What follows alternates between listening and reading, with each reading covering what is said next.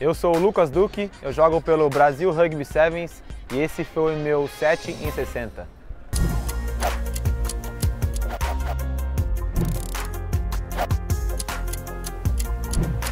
My first rugby club is San Jose. It's called San Jose Rugby.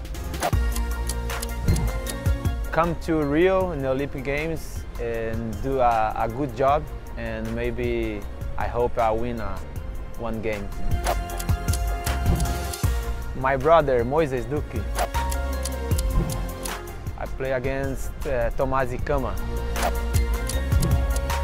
Maybe wrestling, the uh, Olympic fight. Olympic fight. I'm funny, uh, opportunist, and strong. Samba from Brazil. You can dance together with a woman, with my wife. I'm no good samba. I prefer play rugby.